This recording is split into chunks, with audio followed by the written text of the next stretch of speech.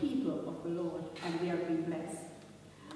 I am overwhelmed with the joy, the Lord my God, for he had, for he, for he had clothed me with salvation and draped me in the robe of righteousness.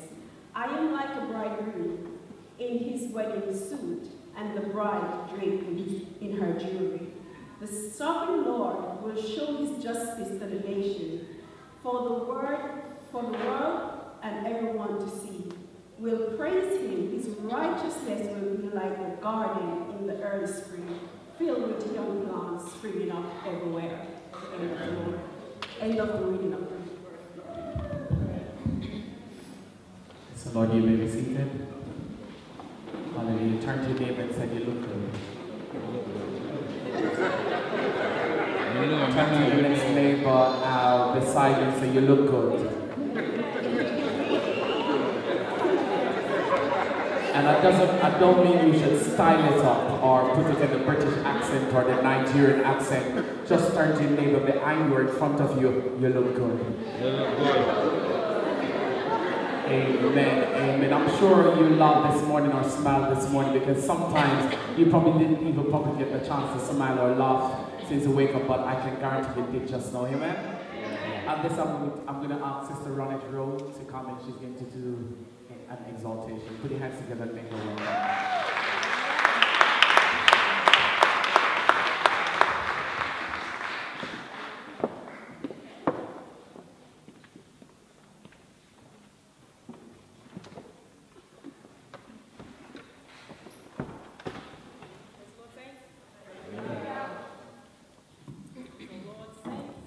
Hallelujah.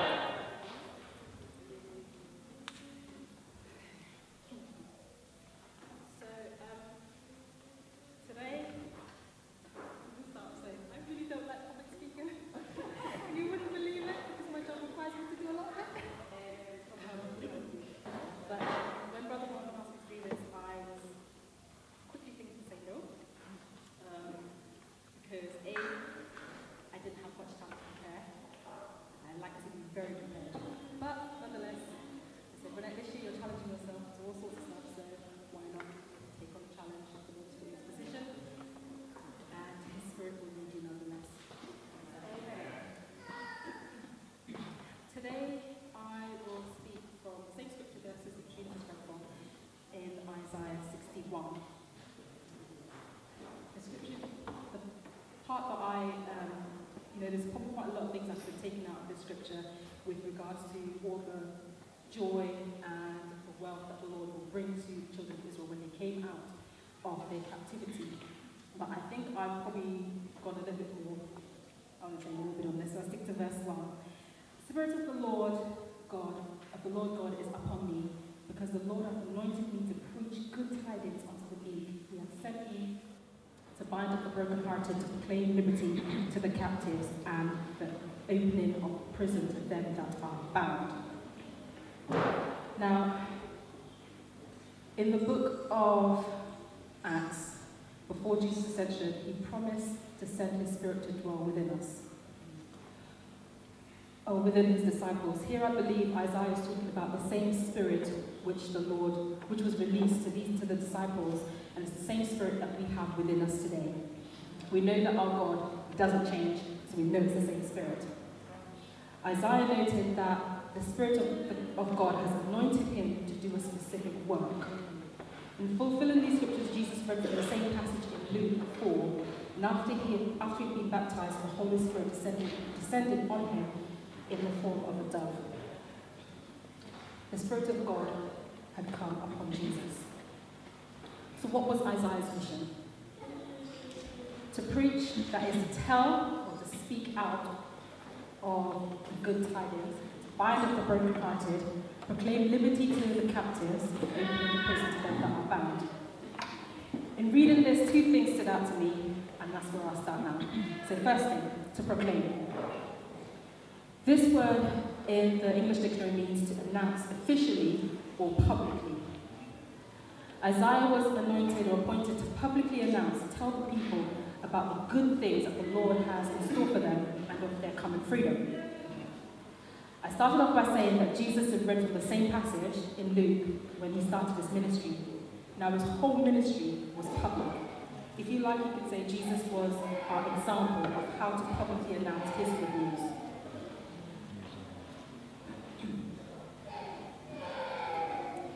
And I had said that on his ascension, he had promised that he would leave his spirit with us, leave His Spirit to dwell within us, which He has fulfilled, and this enables us to continue the works that Jesus has started. So, what are we publicly announcing? Society is caught up on self, and that everything that we do is announced in one way or another.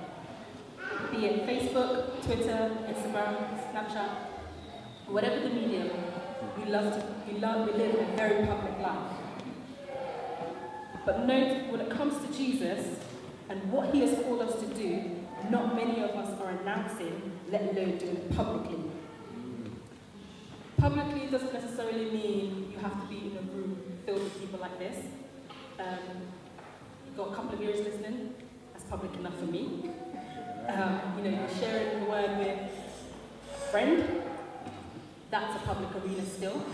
It doesn't have to be in a room full of people.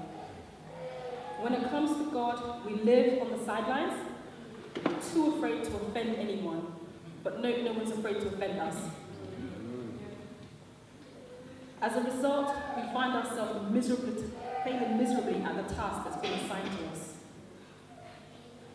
The disciples who were, when Jesus ascended, the disciples who were left to continue the works of God, knowing that one of them, Paul, or wasn't afraid to complete his task. Even when he knew that declaring the word of the Lord would land him in jail, he traveled. Well, more, that's probably more distance than any of us today. Willing to travel or able to travel, what are the circumstances? Paul traveled miles, he traveled days, declaring, publicly declaring what God, what what he was commissioned to do, and to those who were lost, declaring the word of God. Today we have so much technology at our hands.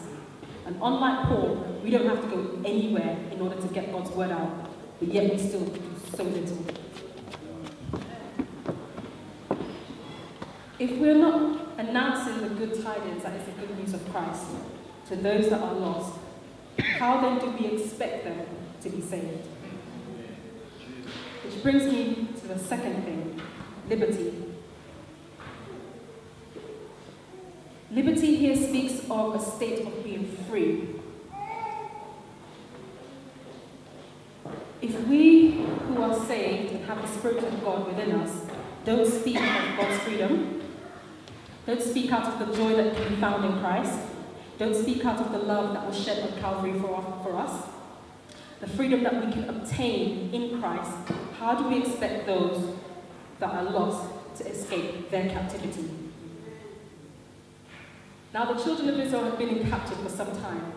Here Isaiah is anointed to declare to them that they are to be free, and with that freedom are all the good things that the Lord has in store for them restoration, rebuilding. But that same thing applies to us today. In sharing God's love, in sharing His freedom, those who are lost are still able to find restoration and able to be God's plan for us to be captives. So why remain there?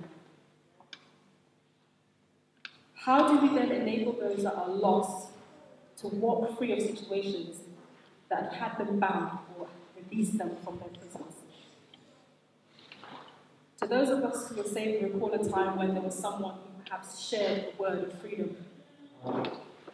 How, how to find Christ, how to be free of a situation, how to find peace within your heart, how to find joy within your life. I kind of look at this as a bit of a relay. We are shown with practical examples how to compete. Jesus started the race off, having died, was buried, and resurrected, all for us. He gave us a good start.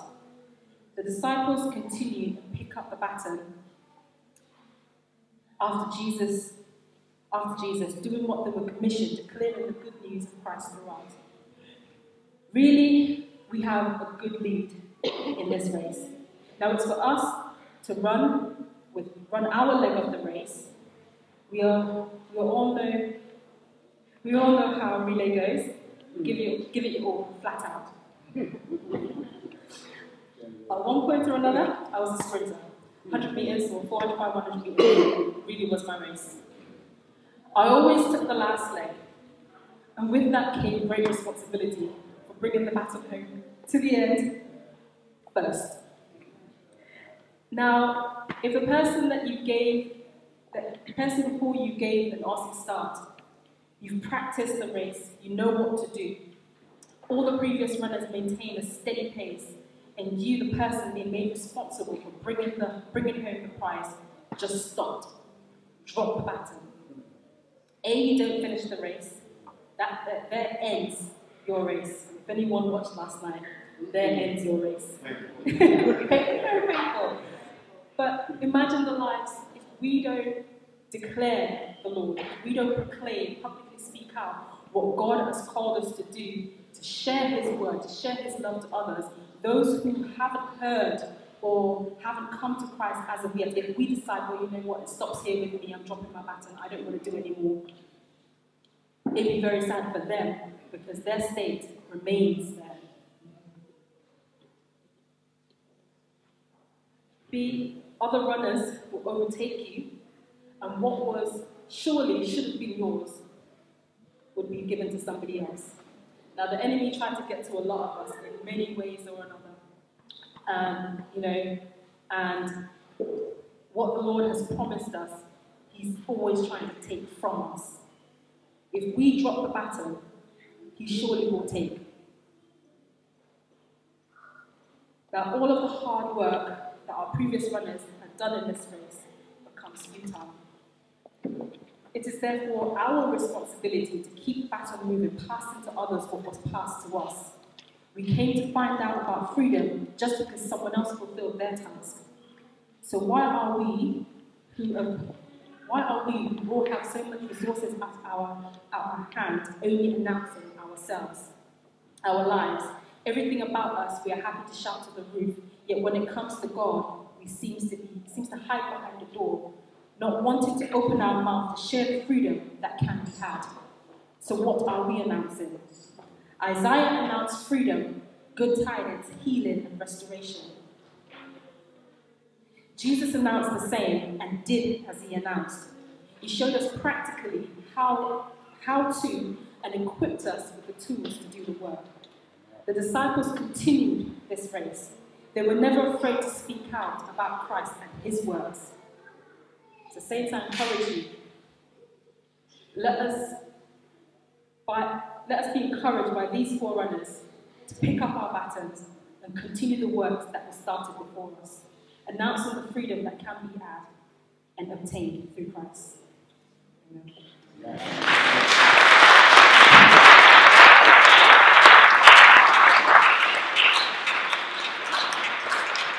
Wonderful. Hallelujah. Thank you, Sister Ronnie. At this time, we'll the morning tithes offering.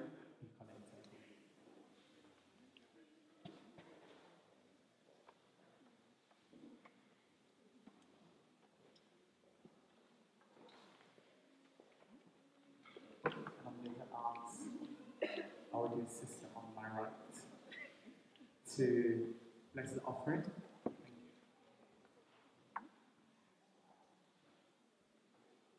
Father, we thank you that we can come at this time to give of our tithes and offerings. Father, I pray that you bless every hand that has to give. Those that don't have that, Lord, you will make provision for them. Father, let everything be used for the furtherance of your kingdom. In Jesus' name. Amen. Hallelujah. My hope is in heaven, just waiting for me. And when I reach there, oh happy I'll be. My home is in heaven, no rent to pay. My Jesus saved me, paid all for me. My home is in heaven, just waiting for me. And when I reach there, oh happy I'll be. My home is in heaven, no rent to pay. My Jesus saved me, save all. Can I have some um, old time school people in here who know the song? You don't know it? My home is in heaven, just waiting for me. And when I reach there, all right, I know that first lady knows this one. My home is in heaven, no way to pay.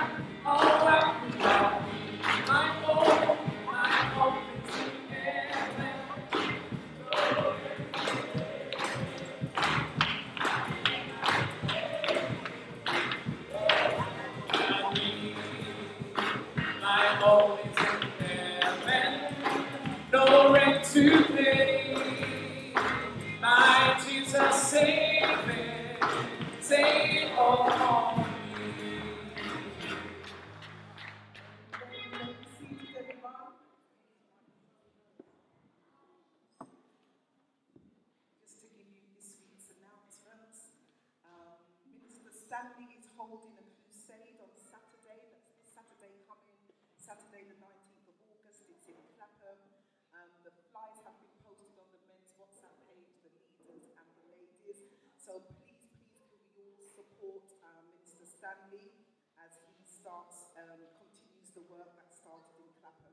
Just to a reminder that from Sunday, the 17th of September, services here will start at 2 o'clock up until 4.30 and we will have access from 1.30 to set up.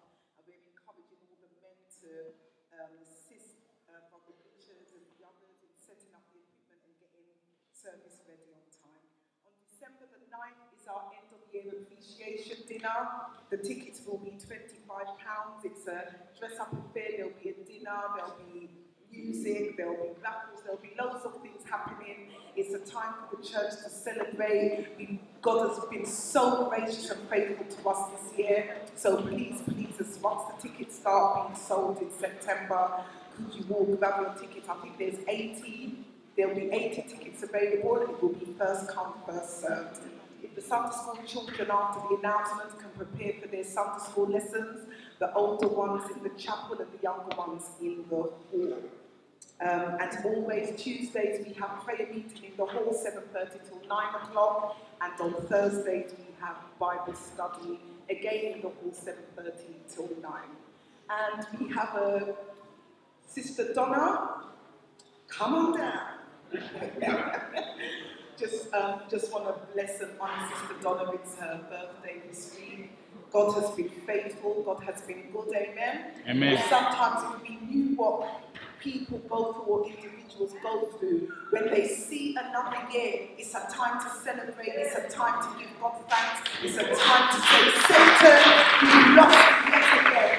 It was up to the enemy. We would have buried Sister Donna a long time ago. So my amen. So my sister, it is an honor to see you in the house of God, to see another year. You are blessed and highly favored. You are the head and not the tail, the and not beneath, the lender and not the borrower. Everything you put your hands to shall be blessed. Amen. Let's join in.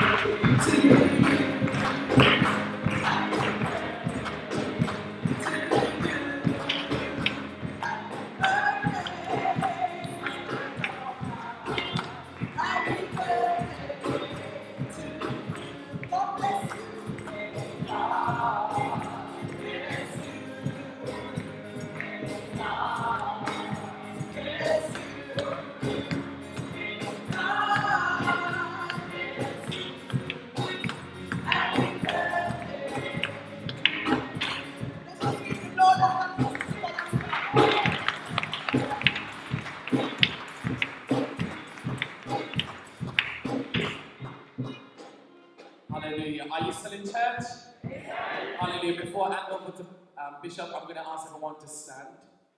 I'm going to ask Sister Nikki to come in. Um, we're just going to sing for the next two, three minutes before I hand over to um, Bishop. that many times we come to church and we tend to forget um, the 60s and the 90s and uh, probably 50s before I was born. Amen. But sometimes in life it's rough and tough. Not true. It is an honor to travel and a mighty long way to go. Jesus, the blessed Savior, is gonna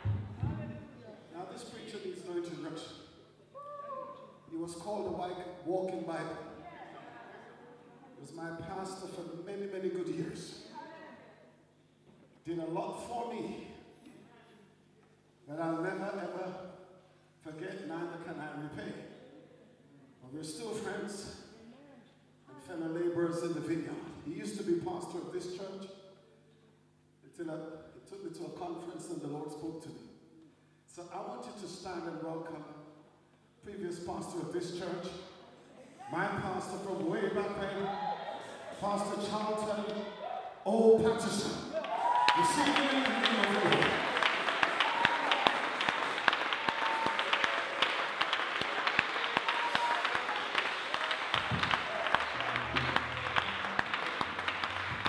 Praise the Lord. God bless you. Please be seated. Praise God. I'm thanking Pastor Ellis for inviting me to come along. It's a long time I've been to uh, this church. When I was here, it's as if we were just putting two stones together. uh, gathering a few sticks, but uh, it's a completely different church from the one I left. And I'm really, I'm just thanking the Lord for what the Lord, the Lord's been doing here. And I just want to thank God for you. So, uh, very good friends, some of the very good friends I've known for many years. Um, people I've known over 50 years. I've known, I've known Pastor Ellis for over 50. I'm not going to tell you over 50 how many years I've known him. Children. Pastor uh, and uh, Brother Jim and I were in the same class at school. And, uh, well, I, I'm not going to go into. Uh, and I see quite a few people here I've baptized myself. And it's just wonderful to see us still going on with God. It's absolutely wonderful. I thank God that uh, I can come to see this and be encouraged in the name of Jesus. I'm sure you don't really need me to come and preach because the pastor is here. Praise God. And you know, uh, when I go places to preach and I know that they've got the word and the preacher's preaching seriously, I always make sure I spend some time fasting and praying, meditating. Uh, well, I planned yesterday should be that day. But I, I don't know what, something knocked me down on Friday. I, Was, I could just, I couldn't hardly walk I couldn't even stand up. You know, and, uh, but I decided I'm coming anyway. I told them, well, if nothing, bring my stick, I'll be coming. So I'm here. Didn't get to do the fasting and praying, but, number one. I'm just glad to be here. Praise God. I count myself happy to be here. God bless you. Greet you from uh, Church. And uh, as you know, Pastor, this was with me for a while. Uh, just uh, everywhere I go now, I hear he's been around, so I just see the dust. but I'm still glad. I'm still here. I'm just really thanking God today. Sister Denise, praise God. These are people are baptized and go to the church. It's wonderful to see you getting powerful down God. Powerful. Sister Ike Lingrishi, how's it around here? Powerful brethren. Where's Brother Ralph? Sister. Pat, is that you? But praise God, these are brethren I've known for so long. Wonderful see. And these are good foundation. Good foundational people. Sister Francis, God bless you. Nicola, God bless you. And uh, uh, you have a good foundation here. These are good people. And I can see that God is building good work on uh, foundation. That is good. And so God bless you. And I trust, I'd just like to spend some time in the Word. I, I don't jump around as much as I used to. We came in the mighty name of our Lord Jesus Christ. Amen. Let me greet our Pastor Ellis's wife. God bless you in the name of Jesus. Praise the Lord. Wonderful wedding night, you know. I like, you know, I thought my wedding was the best. it's true. But yours was good. I did enjoy it. Praise God. Praise God. Amen. I hope all of you who got married, you, you, were you have you enjoyed your marriage. Did you enjoy being married? You, you? It's good to look back on a day that's good. Amen. Praise God. Somebody said, Well, that's the only good day I've ever had. Brother, Praise God. But we like to look at the Word of God today. Because the word of God is wonderful. Amen. David said, Thy word is wonderful. Therefore, thy servant loveth it. There are many virtues in the word of God for us. I was listening to one of the world's great motivational speakers, and he said that we are the highest type of creatures. We come from wherever we come from, the process of evolution, and we are here. He said we come into the world with no instruction manual, and when we buffle around and buck our head on the wall and kick our toes on some rocks, and we get to about 60 or 70, just learn how to live, start believe earth. That's human philosophy. But we're dealing with the Word of God. And we have here today, friends, the Creator's instruction manual for life. This is what we have here Creator's instruction manual for life. And it had many virtues to life, it enriches human life. And a man or a woman without the Word of God is walking in darkness. They don't know where to go. We thank God for the light of the Word of God. And as we come to the house of God to worship God, miracles are taking place even when you don't know it. Because the scripture tells us in the book of Psalms that in Zion we all appear before the Lord. You know, like you have a broken foot or a broken hand, you go to the hospital, they put you on the x ray, and they put a light on you. That light penetrates your body, brother. And see the broken bone, they, they can tell you by the light that penetrates you. But we're dealing with a different type of light today. You know, the scripture said that God is light, and in Him there is no darkness at all. Praise God, and as we come before God today, amen. What the x ray does for broken bone, God does that through our spirit, soul, and bodies. As we come to worship God, He blesses those who come to the house of God with many benefits. You can understand why the psalm said, I'd rather be a doorkeeper in the house of my God than to dwell in the house of wicked. A day like what He said is better than a thousand elsewhere. That's why I people, don't, don't, don't miss church. Don't miss church. So many blessings you get when you don't even know it. Why you live 25 or 30 years longer than other people who don't go to church is because of the blessing that God gives to those who comes to Zion. We Thank you for His word today. That when we hear the word of God, we are we are energized by holy vibration. Saint Paul said that the word of God is quick and powerful, sharper than any two-edged sword, piercing to the dividing asunder, soul and spirit, joint and marrow, is a discerner of thought, intents of the heart. Neither is any creature that manifest in his sight, but all things are naked and open before the eyes of him with whom we have to do. That's the God we're dealing with today. Praise God. It's wonderful. As we get older, I'm thinking we need more word. Amen. Because the word of God was good. Amen. And to those who walk upright. Amen. So I just feel like just to encourage you and just look at a passage of scripture from uh, the book of Ephesians. St. Paul the Apostle introduces himself as he wrote to this church. He introduces himself as Paul, an apostle of Jesus Christ. Pardon me, if, uh, if I don't go exactly, you just bear with me, right? Just, is that all right? Yes. You know that there are people today, if you call if you don't call them bishop, they don't answer you.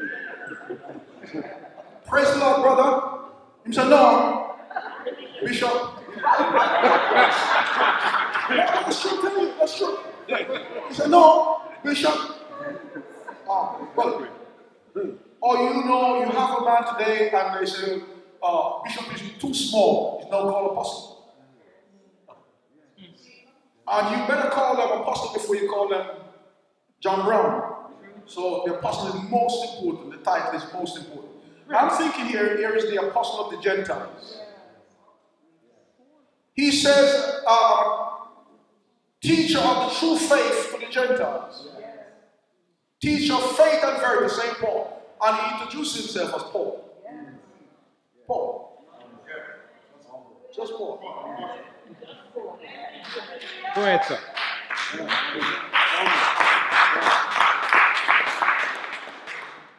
Praise God. He's, a, he's, a, he's an apostle of Jesus Christ. but he's, as a man, he's just Paul. I think there must be a place in life where we never forget. Saint Peter, when he wrote his epistle, he began with thing Simon Peter, an apostle of Jesus Christ. It's wonderful to know that we are, we are brethren. Amen. So, he introduces us Paul, an apostle of Jesus Christ. Let me talk about Jesus Christ for a little while. Can I? Jesus Christ. As you read through Bible, Matthew, Mark, Luke, and John, did you know no one ever called Jesus by the name of Jesus Christ? Did you know that? No, no one ever called, called him Jesus Christ. In actual fact, there's only, there's only five references in Matthew, Mark, Luke, and John to the name of Jesus Christ. Did you know that? Only five references to the name. And they were used directly by man, as the Holy Spirit guiding the writer. He guided him to use the name Jesus Christ. I know you Bible scholars here, when you've got time, look it up. You'll, see this. The first reference to the name of Jesus Christ is found in St. Matthew chapter 1, verse 1. Uh, it talked about Jesus Christ, uh, the son of David, the son of Abraham. That's the first reference we have Jesus Christ in the Bible.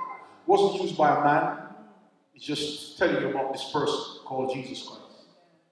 The second reference we have of the name of Jesus Christ is when the Holy Spirit directs us concerning the birth of Jesus Christ. And he said, Now the birth of Jesus Christ was on this wise. When, as his mother Mary was espoused to Joseph, before they came together, the scripture says she was found with child of the Holy Ghost. It's just telling you something about the birth of the person called Jesus Christ. So the writer was looking back after the establishment of the person called Jesus as the Christ. There's no other reference to the name of Jesus Christ in the book of St. Matthew. In fact, there's one time when the master asked his disciples, saying, Who do men say that I, the Son of Man, am? Uh, they were saying, Some say you are Jeremiah, some say you are Elias, uh, one of the prophets. But he asked, Who do you say that I, the Son of Man? St. Peter said to the master, He said, Thou art the Christ, the Son of the living God. The Christ, the Son of the living God. And then the scripture tells us that the Lord Jesus said, Blessed are you, Simon, son of John. Flesh and blood have not revealed this unto you, but my Father which is in heaven. And you know what the Lord said to, to the disciples next? He commanded them, He commanded them to tell no man that he was Jesus the Christ. Right? He commanded them to tell no man. So no man called him Jesus Christ. Okay? In the book of St. Mark, there's one reference to the name of Jesus Christ. St. Mark chapter 1, verse 1 says, Now, the beginning of the gospel of Jesus Christ, the Son of God. Written in the prophets. That's the only reference in St. Mark's gospel to the name of Jesus Christ. Then in the book of St. Luke, there is no reference at all to the name of Jesus Christ in St. Luke. There's no reference to the name. There is the name Jesus, you know, hundreds of references to the name Jesus, but not the name Jesus Christ. We try to explain a little bit. Now, in the book of St. John, there are two references to the name of Jesus Christ. The scripture tells us that the Word was made flesh, John 1 14, and dwelt among us, and we beheld his glory, the glory as of the only begotten of the Father, full of grace and truth. John went on and talked about him and said, Of his fullness all received, and grace for grace. Then he went on in the next verse, verse 17 of chapter 1, he said, For the law was given by Moses, but grace and truth came by Jesus Christ. The actual Greek says, for grace and the truth came by Jesus Christ. Amen? There is no other reference to the name Jesus Christ until you get to St. John chapter 17, verse 3 in the prayer of the Master, when he was praying to his Father before being glorified on the cross uh, on his way back to the glory with the Father. And these are the words. He says, uh, he says, he lifted up his eyes to heaven and said, Father, the hour is come. Glorify thy Son, that thy Son also may glorify thee, as thou hast given him power or authority over all flesh, that he should give eternal life to as many as thou hast given him. And this is life eternal. That you may know him, the only true God, and Jesus Christ, who was sent. There is no other references to the name of Jesus Christ. Only the only person who ever used the name Jesus Christ from Scripture is Jesus Christ Himself. Now, there's a reason for that, brethren. Because according to the Scripture, the Christ, or the stamp or the seal of the person who would be called the Christ, would be the person who would be resurrected from the dead. And until he's resurrected from the dead, legally and scripturally, I have no right to proclaim that Jesus was the Christ. He had to be resurrected from the dead. If he wasn't raised from the dead, he could not preach that Jesus was the Christ. For the scripture says, in, in other parts of scripture, it says, Thou art my son, this day have I begotten thee, speaking of the resurrection. The resurrection. In the book of Hebrews, it says, uh, He remains, the scripture says, so much better than the angels. And he go on in Hebrews chapter 1, he says, For when he bringeth his first begotten into the world, that's bringing back into the habited world, he said, and let all the angels of God worship him. He's talking about the, the resurrection of the man called Jesus. It is the resurrection of the man Jesus and established him as Christ. St. Paul said concerning Jesus, he says, and he was uh, in uh, Romans, he said uh, he was a slave of Jesus Christ. And he was preaching the gospel of God that God promised by the prophets in the scriptures concerning his son, Jesus Christ, who was made of the seed of David according to the flesh and was declared to be the Son of God with power. called to the spirit of holiness by the resurrection from the dead. So it was the resurrection of the dead that established Jesus as the Christ. So, brethren, the first reference to a man in Scripture using the name of Jesus Christ was the day of Pentecost. Amen. Peter began to preach the message on the day of Pentecost, and he said concerning the Holy Ghost come down, he said, Listen, this, and we're not drunken as you suppose. See, it's just nine o'clock in the morning, part of the day, but this is that which is spoken of the Lord by the prophet saying that come to pass in the last days, said God, that I will pour out my spirit upon all flesh. Sons and daughters will prophesy, young men shall dream dreams. On my servants and my handmaidens will I pour out of my spirit those days, and they shall prophesy. Then Peter associated the coming of the Holy Spirit with the man Jesus. He put it like he said, Jesus of Nazareth. A man approved of God among you by signs and wonders and miracles God did by him. You took him out by wicked and you crucified and you slayed him, but God raised him from the dead. For it was impossible that he should be of death.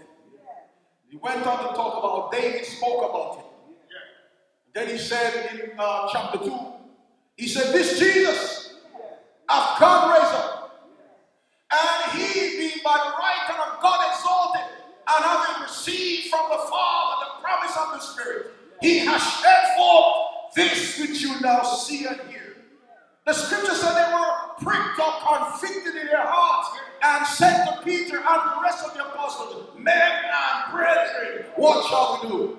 Now here's the first use of the name of Jesus Christ in the Bible. Then Peter said unto them, Repent and be baptized, every one of you, in the name of Jesus Christ for the remission of sin, and you shall receive the gift of the Holy Ghost. Now, brethren, the Holy Ghost, can I say this? Uh, what man lost in the Garden of Eden was the Holy Ghost. Adam had the Holy Ghost, but Adam was the federal head of the human race. We were all in Adam's genetic makeup. The pastor can tell you all about that. He's very clever. He's, that's his business, right? He can tell you all about the genes and all. But we were in Adam's genetic makeup when he was in the garden. So, you know, Brother Jim, did you know you and Francis and me was in the garden? We're in Adam's genes, in his seed, if you, care to use the word. And uh, God gave Adam the Holy Ghost as a head, so only he had the Holy Ghost for every one of us. Adam was very intelligent. He, he control of God, a supernatural God. And from there, four rivers went out from the garden. Adam had the power to speak to the mountain if he did not like it there, to tell it to move over there. Had if there was a creature called Behemoth, I of think Behemoth was alive in him. Yeah, Behemoth, the creature. The Behemoth said, listen, he could, he could pick the leaves from the cedar. Uh, listen, in actual fact, Job said his tail was like a cedar tree. I read in some commentator, they said it was hippopotamus. I said, no. Hippopotamus' tail is just small like this, not like a cedar. But Behemoth was a creature. And if Behemoth was around in the days of Adam, by Adam's word, when Adam said to Behemoth, sit down, Behemoth, like a good dog, Behemoth sat down there. Hello, is another creature called the Leviathan. No man is so prideful to upset him. When you see him, if you're not careful, the Bible says you faint. Just look at him, you faint. He go in the sea down and walk it. When he go down in the water, the water bubble. That's the kind of term the Bible said there's none like him who God made, a creature without fear. But if Leviathan was around when Adam was there, when Adam said, Leviathan, he said, Yes, sir. Sit down there, boy. Yeah, that's the type of power Adam had. And Adam had the Holy Ghost. Adam named over 500,000 species of creatures. And when you look at them, you know Adam had the word of wisdom. Dog, you can't be God. You can't be God. No, the name fit. He had the word of wisdom to tell you the nature of the animal that was there. You get me? Every creature, you look at the name, and Adam, lion. Can't be lion. Word of wisdom is wrapped up in that. No, Adam was not mortal. Let me say this. Adam was not a mortal person. Mortal means dying. And We are, we are mortals. Adam was not mortal. He was perfect human, but not mortal. And the, the potential, now there was no death in Adam, but Adam had to make the choice, just like man has to make the choice, whether he will serve God or serve the devil. Adam had to make the choice, whether he's going to live or die. The potential to die was in Adam. But Adam was not a mortal person, he was a perfect human. Are you with me? But when Adam sinned that day, brethren, what happened is that the Holy Ghost left him. And then what happened is another spirit came into the old creation. And that spirit we know, as St. Paul tells us in Ephesians 2, that creature is called a prince of the power of the air. The spirit that now worketh in the children of disobedience. Not only that, spirit came in, that spirit brought death into the world as well. For St. Paul said in the book of Romans, chapter 5, verse 12, he said, Wherefore by one man sin entered into the world, and death by sin, and so sin passed unto all men, for that all have sinned. That's it. Sin dying without the Holy Ghost. So it was necessary for the Redeemer to come, brethren. And when the Redeemer come, he would provide blood to cleanse man from sin. My God, the Redeemer come to cleanse us from sin so that we could receive again that which was lost, so we could receive the Holy Ghost. Hallelujah. Old Testament dispensation, brethren, they had, they religion. But religion couldn't save us. We needed salvation. For, you know, sin affect man's conscience. There are many people in the madhouses today that are not, they are medulla oblongata. They tell us, you remember that one? Brain. They say, call it brain. They say there's nothing wrong with his brain. And they also, well, why is he mad? Well, his conscience is overloaded with guilt. His conscience is overloaded with guilt until you get rid of guilt. He cannot be saved again. It is his, his, conscience cleansed from sin. No, in the Old Testament dispensation, God showed his cleanliness and holiness to the people. And so the fellowship with God, you have to go uh, the Levitical way. Amen. Constantly offered sacrifices. Amen. To uh, cover sin and uh, animals to deal with the defilement. Constantly to keep fellowship with God. But uh, I say the animal sacrifices and sprinkling of uh, ashes and red heifer upon sinners could not, amen, take away sin. Amen. The Bible tells us in, in the Old Testament that uh, and every priest standing daily, St. Paul said, offering, offering time, the same offering that could never take away sin. Never take away sin. But when you look to Jesus, said this man, after he had offered one sacrifice for sin forever, sat down at the right hand of God from henceforth ever expecting until his enemies made a stool for his feet. For the Christ, Son of God, when he died on the cross, brethren, he offered a sacrifice that was, amen, forever, uh, acceptable forever. Hallelujah. For the Bible said, For my one offering he has perfected forever those that are sanctified. The offering of Jesus went back, reaches back to Adam, and reaches back into it, uh, forward to the eternities to come. That's the blood of Jesus. St. Paul said that if the amen, uh, he said if the blood of bulls and goats and the ashes of an heifer sprinkling the unclean, purified to the sanctifying of the flesh, how much more shall the blood of Christ, who through the eternal Spirit offered himself to God without spot, cleanse our conscience from dead works to serve the living God. So we have the gospel of Jesus Christ, brothers and sisters. And in the gospel of Jesus Christ, the two names come together. We know, according to scripture, that Jesus Christ is always the same. The scripture said Jesus Christ is the same yesterday, today, and forever. Hallelujah. For if you go back in the Turnus part, Jesus the Christ was the anointed word of God. He's the one, praise God, amen, God sent out and created the universe. For the scripture said by the word of the Lord was the heaven made, and all the also there by the breath of his mouth. The scripture said he spake and was done, commanded and stood fast. He spread out the north over the empty place and caused the world to spin and nothing.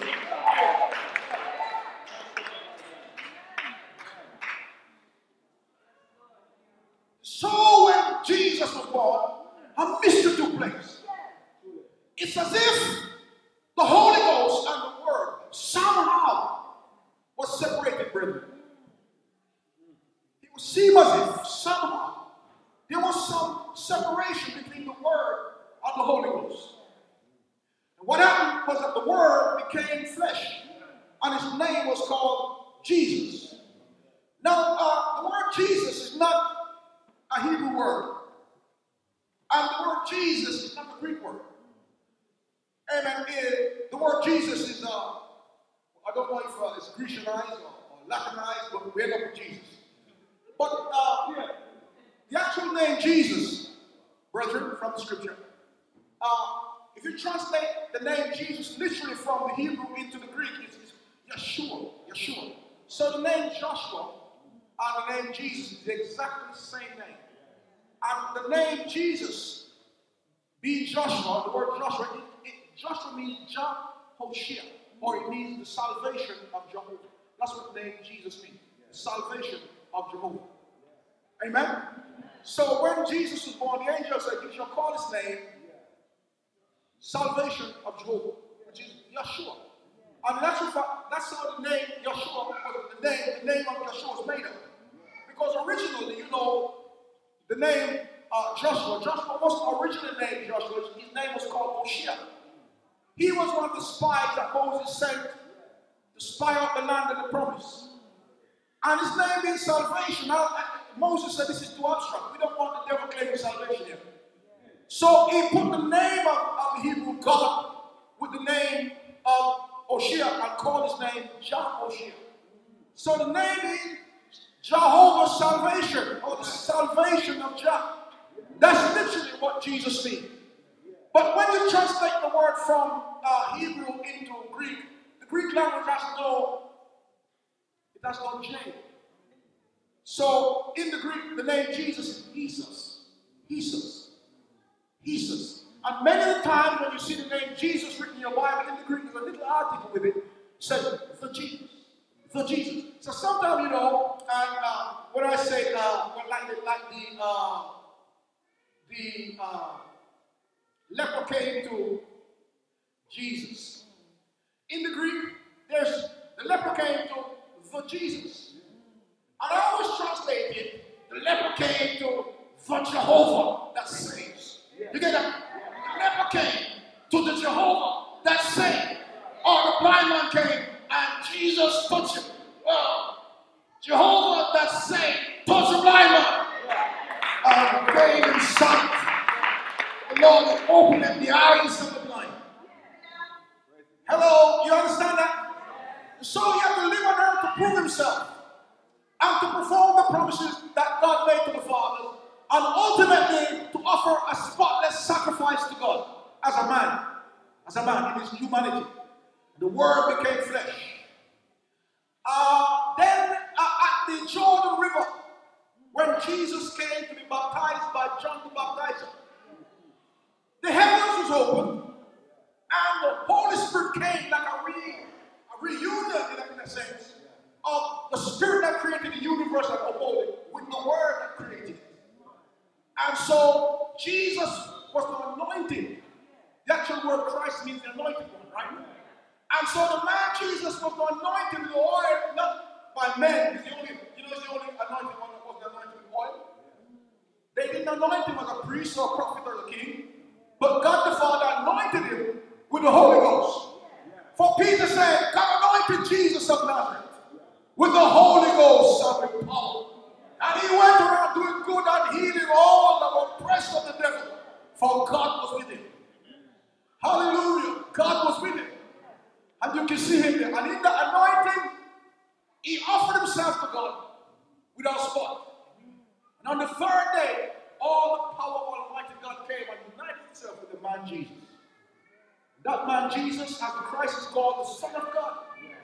And as the Son of God, he's the one who baptized him with the Holy Ghost.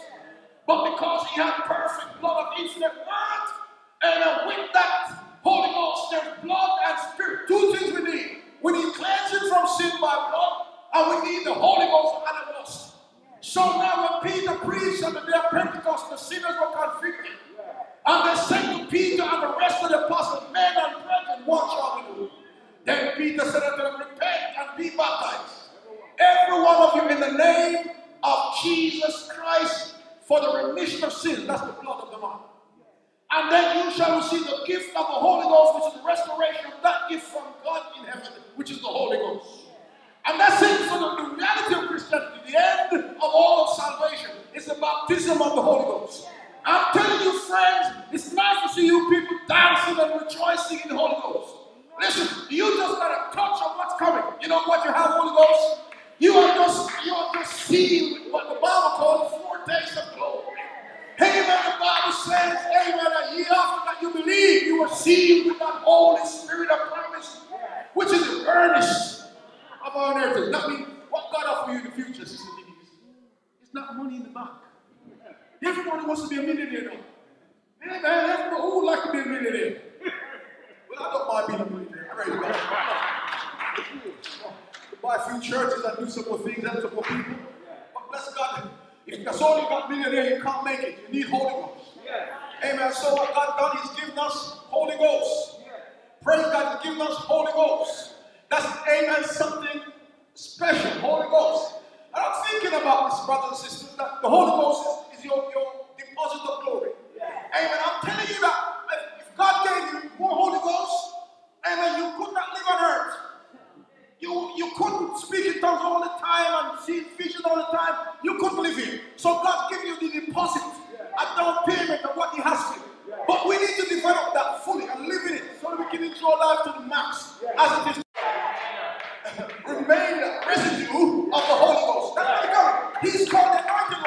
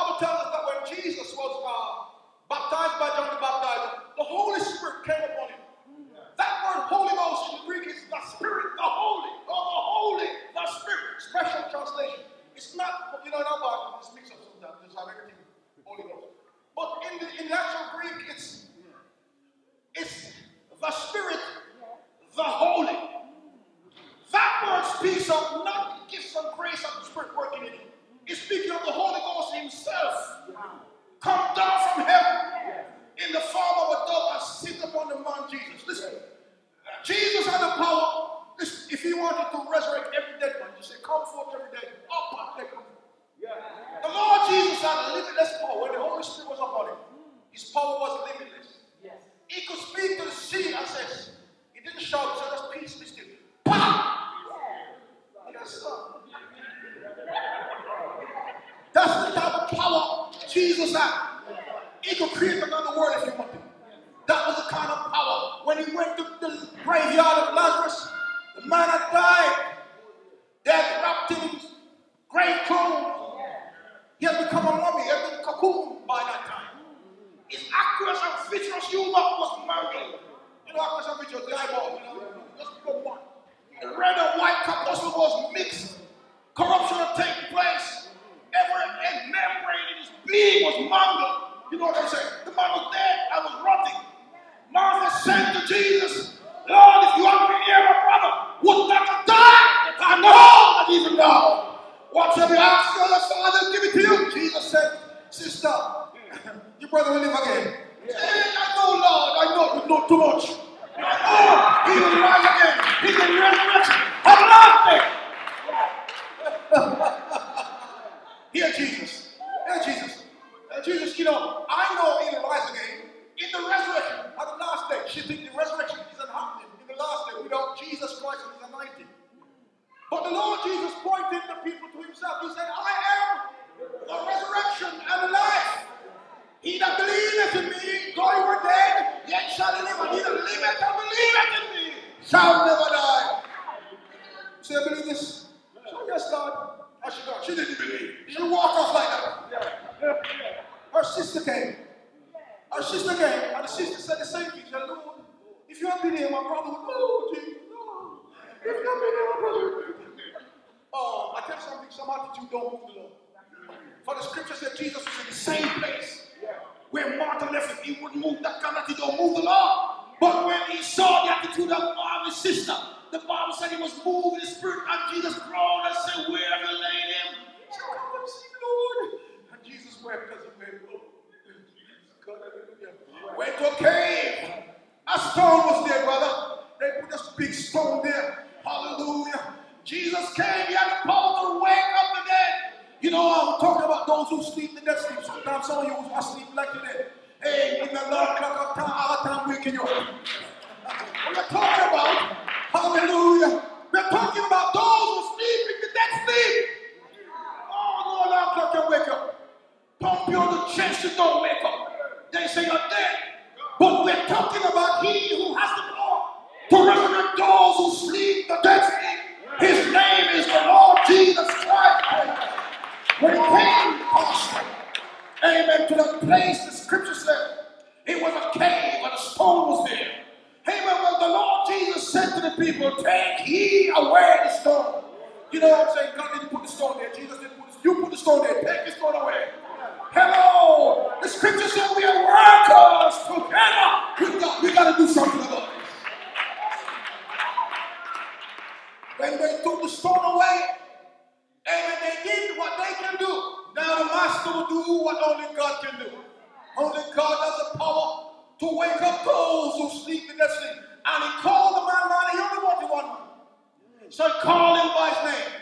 At that time, brethren, the body of Lazarus was in the quiver. That's where they put dead bodies, in the grave. But his, amen, his spirit was in uh, Sheol. Sheol is the world of the dead, or Hades in the Greek, same thing. He's among, I kind of think he was among those who departed in peace. You got to, you know, if you want to depart in peace, you got to know Jesus before you leave here. So he departed in peace because he was a friend of Jesus. And Jesus called him by name, praise God. He said, Lazarus, come forth. And the scripture said, He that was dead came forth. The power of the resurrection took him by his hand and took him out of the world of the dead, brought him back into his body, and the anointing of the word of God healed his physical body and lifted him up and carried him out. Still tied up in grave clothes. You know, Jesus said to them, loose him. You tie him up, loose him. Let him go. Didn't loose him in the night again. Let him loose him. Oh, praise God. That's the type of power we're dealing with. You're dealing with the man that was resurrected from the dead. And now when you see the name Jesus Christ in the Bible, many people think we're dealing with the man that walked on the street of Nazareth. You're not dealing with that man. That man in existence anymore. The name Jesus Christ is the name of the one that was resurrected from the dead. The scripture said he was declared to be the Son of God with power. According to spirit, according, uh, according, uh, declared to be Son of God with power according to the Spirit of holiness by the resurrection from the dead. Hallelujah. When he was resurrected from the dead, brethren, our master was given all authority in heaven and earth. The scripture said when he came back and met the disciples, he said, oh, All power is given to me in heaven and earth. Now here the Bible said he has gone into heaven. Peter said he's gone into heaven. Angel, principalities, and power being made subject unto him. He's Lord of all. Praise his holy name.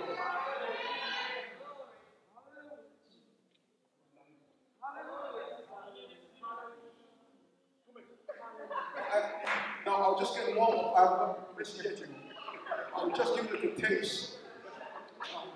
He said, I've only got two minutes left. I haven't even touched this. I haven't touched this. Ten minutes. Oh, ten minutes. I'm going to try to touch my message, right?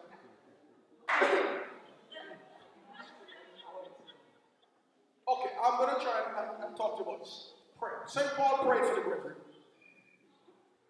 St. Paul prayed for the brethren. Now, we being Pentecostal people, sometimes we become intimidated. Yeah. If a man come here and read a prayer, and read a prayer, we become intimidated. We feel like that's not what it was praying. you follow me? Did you know that all the prayers that God wants us to pray, brethren, is written in the scripture? Did you know that everything God wants you to have is written in the scripture? Did you know that? Amen. So you don't need to fumble about making a prayer ball. He tell you what he wants, what God wants. No, God doesn't work miracles because we pray. But because we pray in conjunction with His will. The scripture said He worked in all things according to the counsel of His own will. Am I preaching? Okay. Now there's something God wants from us, and we think about the reality of the Christian, the reality of the Christian. We're on today under the dispensation of grace. And everything we enjoy is grace. If you believe the gospel is because God's grace helped you. If you repent, it's because God's grace helped you. If the preaching helped you, it's because the grace of God worked in the preaching. Otherwise,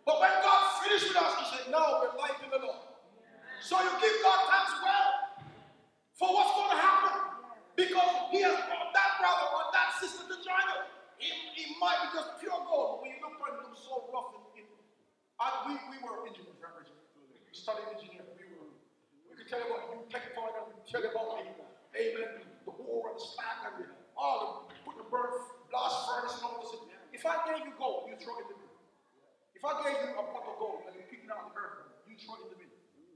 So this is not good. It's is rubbish. Right? You say this is worthless. Because it's mingled with dirt and other things that they call slag. So what they do, they put that bit of what we call rubbish in the blast furnace and heat it up. And what happens? The heat melts the ore.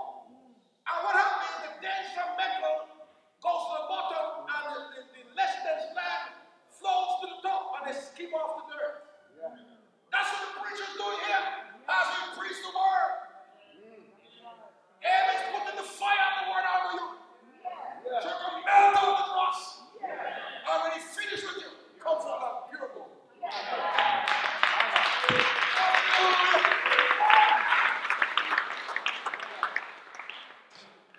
I think my time come. God bless you. Next time. God bless you,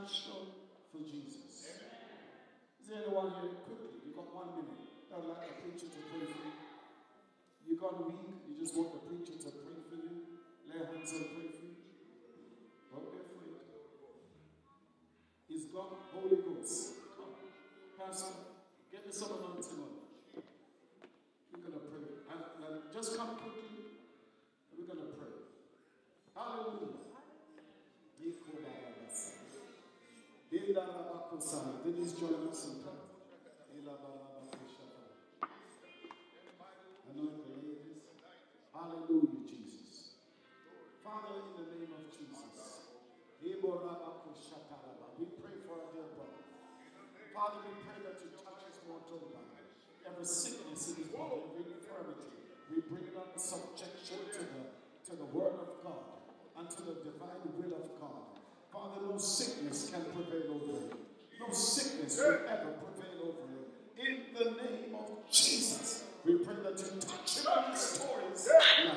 Restore his health. In the name of Jesus, and by the power of the living God, let the salvation of the Lord come to this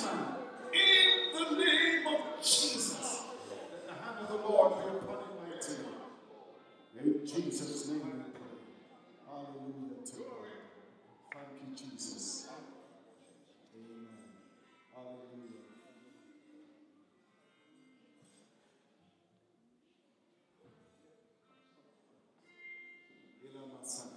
Father, you know the circumstances.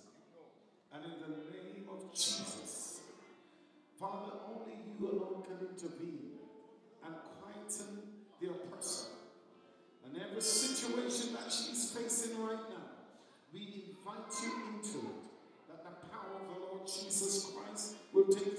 control in her life. Take full control in her life. And every pain that she's undergoing right now, yes, every pain, every pain, we release her of that pain in the name of Jesus. By the power of the Lord Jesus. Father, let joy enter her spirit. And let the joy of the Lord become her strength. In the name of Jesus. Jesus'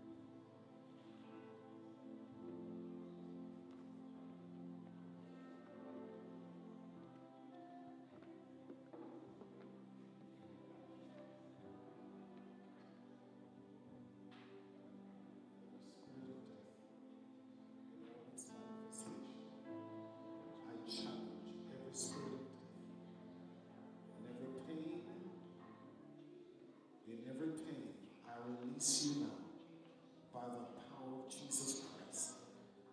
Every sickness, loose her right now. I, I release the power of the anointing to heal from the crown of your head to the sole of your feet. And every spirit of death that has been released, I break your covenant. I break your covenant tonight. Loose you from her